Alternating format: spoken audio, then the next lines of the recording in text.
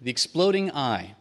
Now, most lectures that we give before audiences focus on pathology. You see a patient, you look at findings, you try to explain it, you write an article, give a presentation. But I thought we could do some back to the bench uh, experimentation. And so, what I did was I ordered a big bag of pig eyes uh, online. It's amazing what you can get online. And we're going to subject these pig eyes to various amounts of trauma. We'll start by lighting them on fire, subjecting them to heat injury. Uh, and then we're going to take these pig eyes and subject them to various chemicals, acids and bases, and we're going to see what happens uh, to these eyes over time. Uh, then we're going to uh, basically use various projectiles, BB guns, airsoft, paintball, and we're going to shoot these pig eyes and see how they react to various trauma. Then I've got some high powered industrial lasers that I ordered from Hong Kong, and we're going to shoot some lasers at these pig eyes and we're going to see what happens. And, uh, and, and finally, I went to the local fireworks store and we'll try various explosive devices uh, on these eyes. Now, the point is not to be entertaining. Well, hopefully it is, but the point is not to be entertaining, but to uh, give us a little bit better example of how the eye works, some of the trauma that our patients can experience out in the wild, uh, so that we have a better sense on how to treat these people. So, let's begin. We'll begin with heat and fire injury. Now, it's interesting. The eye is a very sensitive structure, and yet very rarely do we ever see heat fire injuries. Uh, it's amazing what you can do with WD 40. But, uh, you know, I trained at a hospital, a very large one, that had a burn facility in it, and yet I was very rarely ever called to, to see eye burns. And the reason why is that the eye is protected by the skull from pretty much all direction from uh, most trauma, including heat. Uh, it also helps that the eye is full of water. If you take a balloon and hold it over a flame, it's going to pop almost instantly. But put some water in that balloon, you can hold it over a fire and it doesn't pop. And why is that? Uh, the reason is because water is a great conductor of heat. It conducts heat away from that area. And even though it looks charred, that's actually just soot from the candle. Um, the balloon is relatively um, well protected. It also helps that the eye is covered by a thin layer of tears. Uh, and that tear can quench small flames, which explains why you can put out a fire with your fingers if necessary. So, a couple of uh, protective mechanisms for heat injuries, but we do see some on occasion, so let's go over them. Cigarette burns is one of the things I see every once in a while. Now, it's been maybe a decade since I've been over at Disney World, um, but the last time I was there was very early in my eye training, and I found myself, you know, you focus on what you think about all the time. You guys probably look at eyes all the time. I was terrified walking around Disney World because there were all these tourists, Europeans, that had cigarettes held at waist level, waving them around and children running around at the same height, eye height. And so I was constantly paranoid that a child was going to run into a cigarette. Uh, and we do see that on occasion, but not as much as you would think. Um, the interesting thing about cigarettes is they burn hot, but it's a mild flame. I mean, you can put it out if you do it fast enough on your hand without hurting yourself. Uh, in fact, you can even put it out on your tongue uh, if you're uh, of that sort. And the tongue is covered by a thin layer of tears, which helps. Um, so if we put a cigarette out on a pig eye, and wash this off, surprisingly, very little damage. And this seems to correlate with what I've seen in the office. Usually, a young child brings in, the parents or the grandparents are extremely embarrassed, uh, really nervous. The kid's crying, they've got junk in their eye, but for the most part, uh, very few bad injuries from, from cigarettes. Have you guys ever seen an electronic cigarette? I ordered one. I don't smoke. I just ordered one just to see what they look like. Uh, basically, it has a, uh, uh, a, battery component to it. The nicotine is in this end. You, you, inhale through this end, and the other end has a sort of a plastic simulated flame or a, a char. And uh, yeah, r- doesn't hurt at all. No, no burn injury. If you need another reason not to smoke, there it is. All right, sparkler injuries are a little bit more, uh, a little bit more intense. Um, Sparklers are dangerous not so much because they're flame, but because they burn so hot. And they burn hot because they're made of magnesium. And magnesium is the same stuff that's in uh, this magnesium fire starters that you scrape off that campers sometimes use. Uh, magnesium burns at uh, 3, 4,000 degrees, extremely hot. And this is a strip of magnesium I'm dipping in water. And you can see that it doesn't really quench with water quite as well as you would expect. I mean, it takes a lot to put out a magnesium fire. Um, so here's some sparklers. Now, the sparkler will go out if you put it in water, but it takes a couple of seconds to go out. And so here we go. So it, it burns out. So it will burn out, but the tear film has very little chance to put a sparkler fire out if it's jabbed in the eye, as you can see here, uh, some significant burn trauma. And surprisingly, I do see these injuries on occasion. It's usually in a young child, 18 months, held in the hand. Someone holds a kid a sparkler, and then they jab themselves in the eye because they're kind of uncontrolled anyway.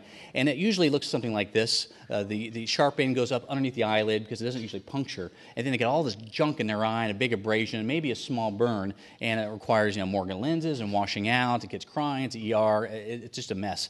Um, fortunately, I haven't seen many burns that were terrible from this because it's usually momentarily, but it's something to be aware of. So sparklers are dangerous. The third heat injury we see is the curling iron, which happens on occasion. Curling irons can actually uh, go to very high temperature. This one is set for about, I don't know, 430 to 450 degrees. Um, and if you think about it, that's the same temperature as your oven if you're making a pizza. So imagine that oven grill touching the eye. And so it can really can cause some uh, significant burns. But fortunately, once again, this is usually a glancing burn uh, across the eye. Um, and even though it's hot, um, don't usually see as much damage as one might expect. This is not a burn uh, patient, but this is what I see. It usually looks like a linear, whitish, hazy um, cornea. It's dehydrated a little bit from the heat, and so it's a little bit thinner.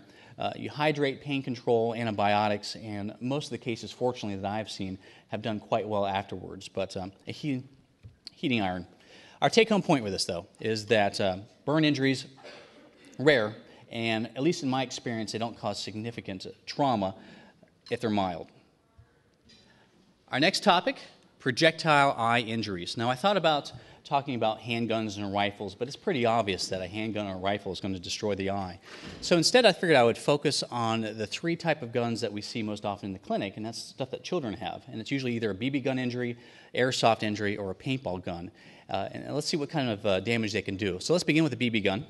This is the classic Red Ryder BB gun produced by Daisy. It's been out forever. It's in many uh, popular Christmas movies. This gun shoots a small pellet at 350 feet per second, which is relatively fast. Uh, here I am cocking it. Uh, a single cock is all it takes, and the BB comes out the end, styrofoam head, to give you an idea of how this works. Now, the danger with BB guns are that the pellet itself is made out of steel. It's a non compressible steel covered by another alloy metal on top of it.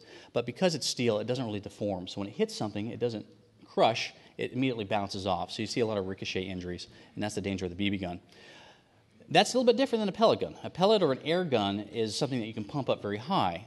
Um, and they shoot at like 1,000 feet per second, which is incredibly quick. They use pellets instead of BBs, which is usually a, a soft metal like lead that compresses, has a flange and more aerodynamic shape. That flange expands as it goes down the barrel, engages the rifling of the barrel, so it spins on the way out, much more accurate. And here's the classic Diablo shape, and you can see that it crushes. This crushing is good because it doesn't ricochet as much. Um, the downside, of course, is just the sheer speed at which these pellets come out. So, to put things in perspective, a handgun shoots at about 1,000 feet per second as well. So this is about the same as a handgun. A rifle, though, something a hunter would use, is about 3,000 feet per second. So it's not quite as bad as that, but that's an air gun. Our next contender is a paintball.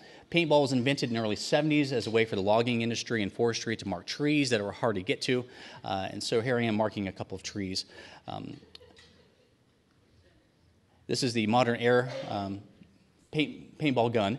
It has several parts usually a compressed cylinder of CO2 air that pumps air into the barrel itself. On top, that round thing is a uh, it's a hopper, and that's where the paintballs go in. You load them through the top, they drop down into the barrel, and then the compressed air blows it out the end. Um, face mask is crucial with this, uh, this instrument, and also something for the mouth so you don't break teeth if this thing hits you. That's a plug uh, that you use during tournament play so people know that it's on safety. And let's shoot this, uh, this head and we'll see what kind of effect we get in paintball you got to cover the mouth, otherwise you'll break teeth with this thing, and that's why that mask looks that way. But that's the paintball gun. Of course, if it hits the eye, some significant trauma, right? The paintball itself is relatively heavy, especially compared to a BB, uh, and it's filled with a, uh, a non toxic paint that doesn't seem to really cause much problem. Okay. Uh, interesting. The thing with the paintball is that uh, th- this is the first gun that's meant to be shot at people, right? And interesting, this young man appears to be relatively uh, resistant to paintball injuries. Uh, maybe it's the hair, I don't know. But uh, so that's a big difference. This is meant to be shot at people. Uh, airsoft is our final contender. Airsoft was also uh, invented in the 70s, Hong Kong, China, because of a ban on firearm ownage. Uh, they come in different styles. A CO2 powered handgun, for example, which is kind of nice because you can kind of hold it gangster style, which is, anyway, it's useful. Anyway, there's also the, the spring loaded spring loaded guns which are which are pretty accurate. But the uh, the most impressive type of airsoft is probably the electric one that can pump out uh, a lot of pellets at a very rapid rate, as you can see here. Just quite incredible. No. All right, where was I going with this? Uh, I don't know. Okay, back to this. Oh, there we go. That's what. Let's see if this young man's not quite as resistant to the airsoft gun as you can tell, but we love him. Now, we have three different guns.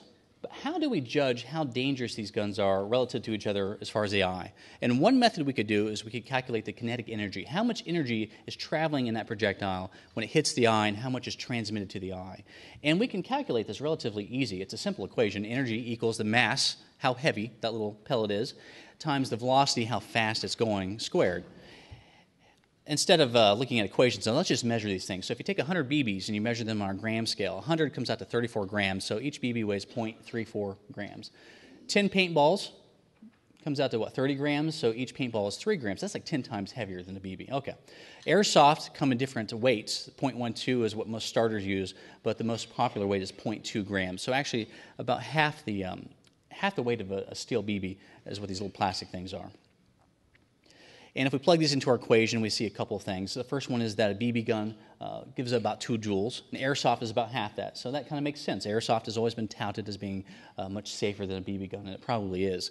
The paintball gun, though, tremendous amount of kinetic energy 15 joules is 10 times higher for the most part than those other weapons and finally the pellet gun just because it goes so fast uh, it has a lot of energy as well but let's not look at the equation let's actually do an experiment this is called a um, ballistic pendulum. It's a, a, block of nylon. You shoot from the side, and it pushes this little scale. And using that, you can kind of calculate how much kinetic energy uh, is given. So we'll start by shooting it with a BB gun, and we'll see how far this thing moves.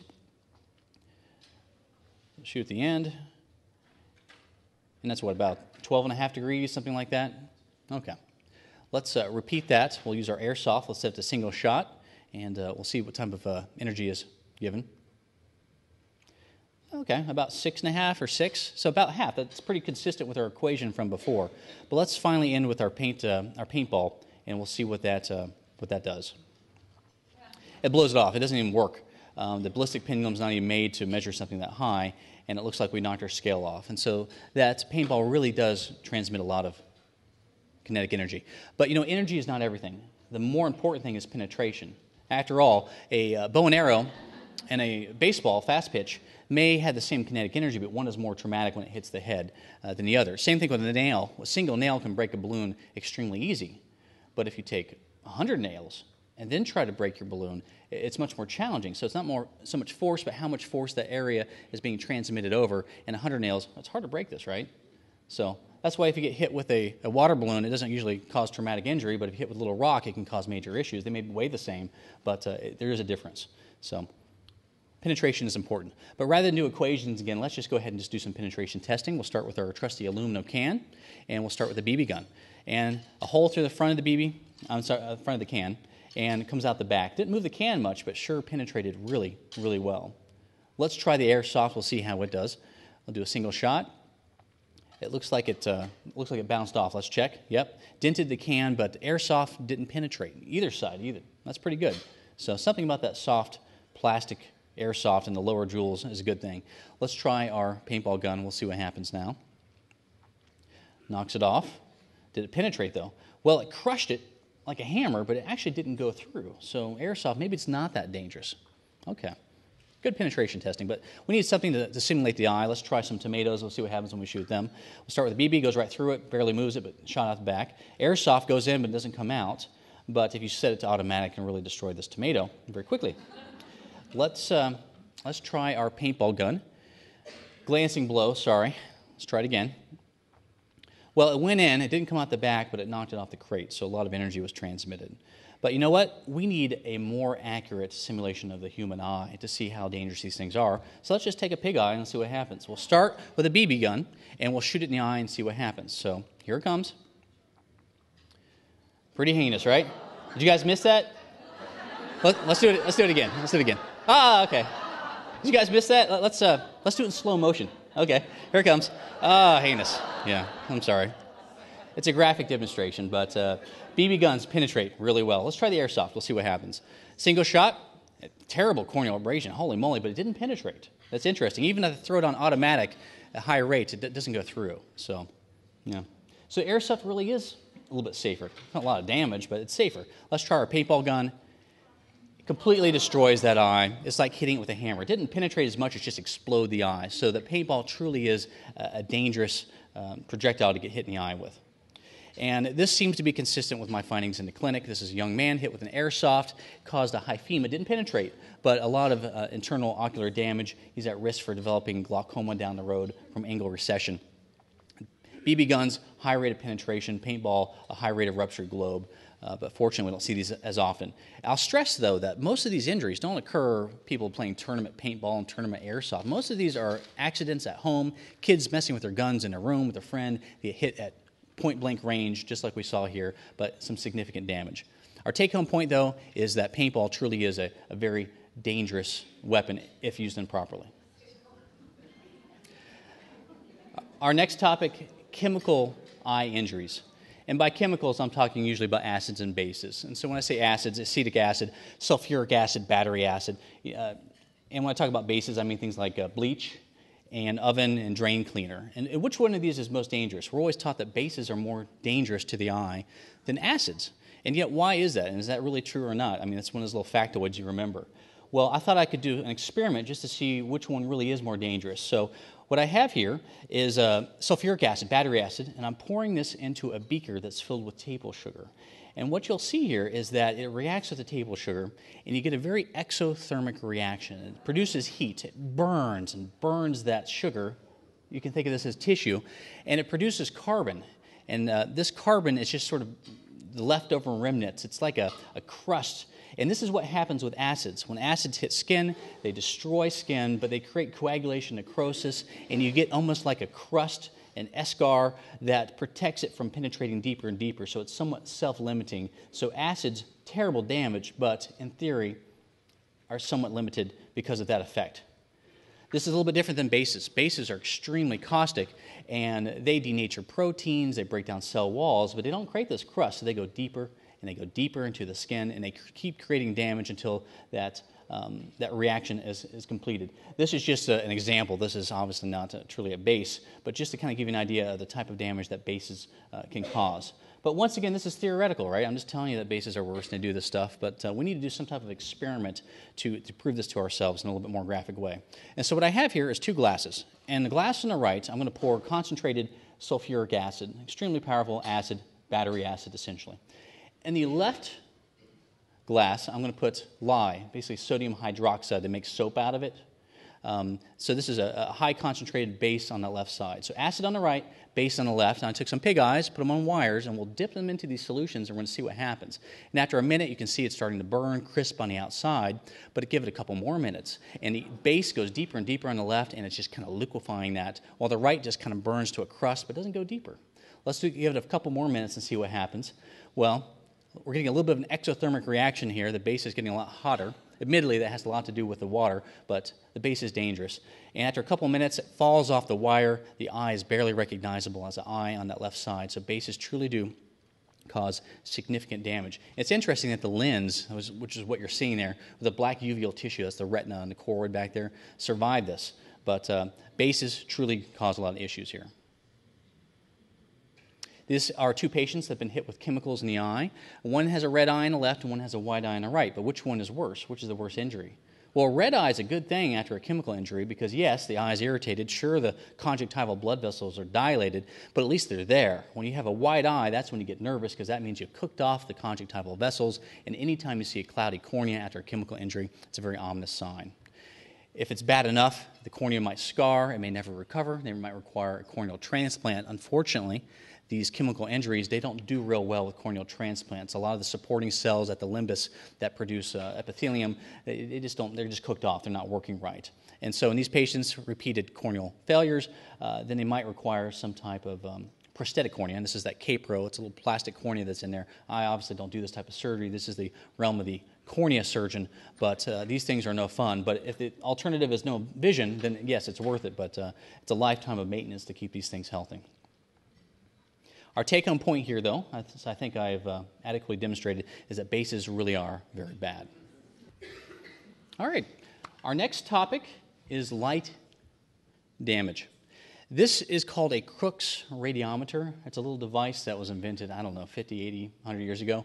But it's a partial vacuum light bulb that has these little vanes of uh, white and black panels. And the theory behind it originally was that light was absorbed by the black uh, surface and bounce off the white, and it kind of proved the photon energy. It's like a, a solar mill, so to speak. The actual theory is a little bit different than this and how this works. It has to do with temperature and air movements inside this thing. But it does demonstrate one thing, and that is that light can transmit energy, and that energy can create, in this case, motion, but also heat. Now, this is pretty obvious to any kid who has a, a, magnifying glass and a ready supply of ants. And so I thought, well, maybe we could burn some eyes with a magnifying glass, but you know what? It's pretty childish to be using a small magnifying glass for this purpose. So instead, I got a very large magnifying glass. This is a, uh, a Fresnel lens. It's pulled off a projection TV. I've got it here on a frame. But this lens is basically the same thing as a big, a small magnifying glass, just much, much larger. We're going to start by burning some paper in here. We'll see how fast it burns. Holding it under, pretty quick, right? Almost instantaneous. Measuring this temperature from this little device, it gets up to about 1500 to 2000 degrees Fahrenheit. So extremely um, hot. A lot of energy can be I'm not a big fan of animal testing, but I have no big problems with vegetable testing. So this is Darth Tater. And uh, don't, don't worry, folks. Darth Tater, he's the uh, spud of evil. But uh, we'll see how he does under the, uh, under the heat as well. You can see he, he catches fire almost instantly as well. So uh, a, lot of, uh, a lot of energy can be collected by a lens system. Um, eyes didn't do so well there. Finally, we'll do an aluminum cam. The, um, the melting point of aluminum is something like 1200 degrees Fahrenheit. But once again, this, uh, this melts relatively quickly. So a lens really can focus a lot of energy to very small spots, which is pretty obvious here. Now, the eye is the same thing. It's, the, it's orders of magnitude smaller, but it's the same system. Fortunately, we don't see that many solar injuries from the sun because people don't look at the sun. But this can occur during surgery. Prolonged eye surgery, where the eye is stuck in one position for a prolonged period of time, uh, you can have solar damage from that. We don't see it as much now with modern surgical techniques, but certainly with prolonged retinal surgery or complicated surgery, this is something that's been seen in the past. And I've seen a couple patients with this, so relatively rare. The big question, of course, is laser light. People are always worried about lasers. Um, and laser light is coherent light, it's all the same wavelength, extremely intense in one spot. Uh, but we're always asked, you know, if I get shot by a laser at the checkout line at the store or a laser pointer in a crowd like this, am I going to have damage inside the eye? Well, probably not. There's been some studies looking at this effect, and what uh, these researchers did was they took people who were scheduled for enucleation. They had like a melanoma that had to come out, the eye had to come out. So I said, well, let's we let us shoot a, a, laser in your eye for like 15 minutes and hold it at the same spot. And they've done that. And after they enucleated the eye, they looked at it under the microscope, and they do see some histological changes. But think about it 15 minutes, the same spot in the retina. What's the chance of that happening? I would argue that if you s- stared at a reflection of the sun off someone's mirror for 15 minutes, you'd probably have some changes as well. So uh, I think overall, consumer laser pointers are relatively safe. Now, this is different than this one. This is a uh, very powerful laser I imported from Hong Kong, barely made it through customs. Most laser pointers have a power of 5 milliwatts. This one's 1,000 milliwatts, so it's about 200 times faster than your, than your average laser. I bought it originally because I really needed a way to pop balloons, specifically lines of balloons in a straight line. And so this laser is very good at that specific task. So pretty cool, huh? I had to turn it off pretty fast because it's starting to burn the blanket back there. But uh, a very powerful laser. Now, I can't shoot the retinas on these pig eyes that I ordered because the cornea is just too cloudy. But I did want to sort of demonstrate that lasers really can create uh, damage inside the eye. So we'll just shoot at the, at the cornea and see what happens. We'll give it a couple minutes. You can see it burning away there. I had to put a special filter on my camera so I didn't blow out the sensor. And um, you can see that there's a, a, burn on this cornea. Imagine that in a retina. So in these industrial lasers, these high power things, really can be quite dangerous. But who has those things? Come on. So our take home point here, though, is that light, relatively safe. Uh, and special laser pointers, they're relatively safe. I don't think they're anything to worry about. Our final topic explosive eye injuries. After all, the, the title of this lecture is The Exploding Eye, right? So, explosives. Uh, does anyone know what this is? Yeah, looks kind of like an M80 that you hear about. Yeah. Don't worry, folks. This is a this is a special effect. Look how proud of myself I am. Watch this. Huh? Yeah, okay. anyway, this isn't truly an M80. An M80 was an explosive device invented by the military to simulate artillery fire during training exercises, but it created so many injuries. Uh, uh, during the 50s, 60s, essentially, that they end up banning the thing. You know this isn't a true M80 because the, uh, the wick is coming out the side. An M80 is supposed to come out right immediately out the side, not the end. So, anyway. Um, these devices, even though they don't have nearly as much gunpowder as they used to, can still create some significant damage, especially if held in the hand. But it's when you close uh, a container around an explosive, that's when you have the true damage. So if you close the hand, this is how you lose fingers. Let's see how this clay hand did. So, a lot of damage. But I am an eye doctor, I'm not a hand doctor, so let's see what happens when we do this to the eye. So, once again, we'll take our pig eyes and we'll try our Black Cat firecracker. Caused some damage, but didn't perforate or anything. Let's check it, the old plier test. Yeah, looks pretty good. All right. Let's try enclosing this with a hand and see if it's going to break. Now, does it, anyone here think it's going to rupture this time? Looks like it will, right? Okay. Let's let's check our hypothesis. Longer fuse this time. Wait for it. Wait for it. There we go. And let's see what type of damage we have now. Well, it's pretty burnt up, that's for darn sure, but is it ruptured? I don't know. It doesn't look like it is. All right. Let's try this one more time. How, do we think it's going to break now? I mean, come on. All right, let's try it. All right. So, did it rupture? I have no idea because this thing flew off my garage. I don't know where it is. It could be anywhere. Well, one day I'll be walking through there barefoot and I'll find it. But uh, so I haven't the foggiest idea. But you're probably wondering, what's the point? I mean, this is a lot of fun, but like, who puts who holds a firecracker up to their eye and lets it explode? Uh, that is rare, but what I do see occasionally is a bottle rocket hit the eye. Bottle rockets can be quite dangerous because they, they fly at high speed, so you can get a projectile injury. They explode near the eye and get a shrapnel injury. And one of the first injuries I saw as a, as a new resident was a child that got hit in the eye with a, with a bottle rocket. Fortunately, I found this one on the ground. Um, and unfortunately, uh, the thing had not ruptured either. And so, gosh, I was getting a little depressed at this point. I mean, this eye's not exploding, but I am not willing to build a bomb in my garage to, to do this purpose. So instead, what I did was I just threw it in some vice, and we'll just see what happens if we vice it, right? Yeah. And there is a purpose to this other than the, uh, the gross factor. Because explosions cause compressive injuries, and that creates blunt trauma. And so we're going to create a blunt trauma here just by compressing this eye until it pops. And when the eye ruptures, it tends to rupture at two points. It either ruptures at the limbus, which is easy to see, it's quite obvious. The iris is usually hanging out of the eye, um, and so you take them to surgery. But the other place that these eyes tend to rupture is right at the insertion of the muscles onto the eye itself. Now, the eye has a thickness, the, the scleral wall is about one millimeter. But right where the muscles insert, the thickness is about a third of that. It's a third of a millimeter. I don't know why you'd think it'd be thicker there. I mean, muscles are attaching to that spot, but it is. And so you're always worried about a rupture underneath that muscle. So if you have an injury like this, someone comes in with some type of blunt trauma, you're like, holy moly, I think it's a ruptured globe, but I can't tell because the limbus is okay. Well, you're stuck taking them to the surgery, cutting back that conjunctival tissue, and exploring under those muscles to find a rupture and repair it. If the rupture is further back behind the eye, well, you can't repair those. I mean, you can't pull the eye out and sew it up together without causing significant expulsion problems, but uh, exploding eyes. Our take home point here is that bottle rockets uh, are relatively dangerous. You guys can do that already, didn't you? Now, in summary, we have learned many things. We've learned that the eye is relatively protected from heat but can become damaged. We have learned that paintball in particular is especially dangerous to the eyeball. We have learned that bases truly are more dangerous than acids. We've learned that lasers are relatively safe unless you get these high powered ones. And finally, that the eye is not resistant to explosions. But uh, I hope you found this interesting. And I caution you not to try any of these experiments at home, as I almost hurt myself many times. But I'd like to thank you for your time today. Thanks.